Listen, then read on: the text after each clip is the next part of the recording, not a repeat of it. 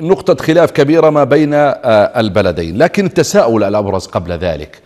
الآن العراق هو المتضرر الأكبر كما تفضلت بالحديث وهناك الكثير من المواقع التي وضعت يدها الكويت عليها.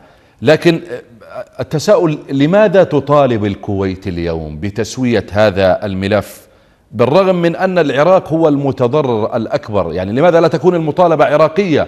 تحدثت عن آه، آه، عدة تفصيلات قامت بها الكويت بال 2003 2013 2019 أين العراق من كل من كل هذه التحركات؟ الحقيقة الجانب الكويتي أو الأشقاء الكويتيين يعملون.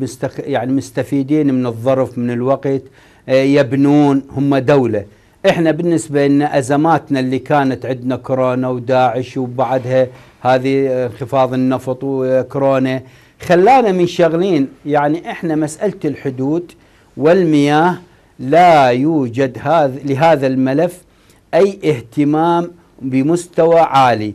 الكويت تستخدم الظرف والوقت وتعمل بخطوات وإحنا متأخرين جدا. قد يلومني بعض الإخوان العراقيين أو يقولون هذا الكلام مو صحيح. لا أنا أتكلم بالنظير. ماذا قدمت الكويت؟ وهل قدمنا بنفس الوقت؟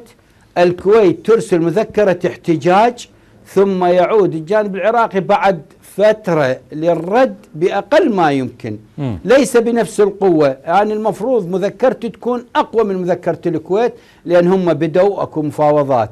وعليه الكويت تسير بخطى ثابتة كونها دولة مستقرة. إحنا هنا ما عندنا من يرفع أو يقدم خلاصة حقيقية بها جوانب فنية فيها جوانب بحرية بها جوانب اعتبارية بها جوانب دبلوماسية حتى ننطي لهذا الملف حقه. إحنا متأخرين. في عملنا وفي أدائنا. خط الأساس من عام 99 لحد هسه يلا كمل قبل. سنة وشوية. آه المجالات البحرية الكويت صدرت وإحنا صد ها بالمناسبة إحنا صدرنا الجرف القاري وصدرت الكويت والإيران صدرت. لكن إحنا المفروض نوديها المتحدة نعلنها بقسم المحيطات بأطلس المحيطات قسم الكارتوغرافي بمكتب الأمين العام للمتحدة هذا المفروض يكون على عجالة. إحنا على تصحيح على نقطة واحدة رقمها 31 آه، أو 34 تأخرنا أربع سنوات خمسة. إحنا نكمل عملنا ونوقف. نكمل. أنا أتكلم كباحث.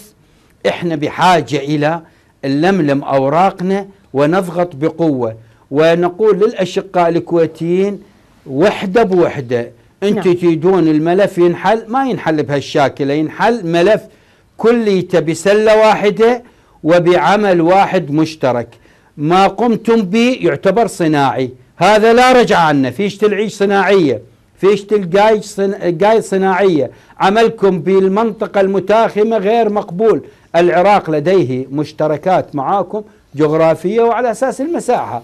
أما بالبر والبحر فهم ظالمين.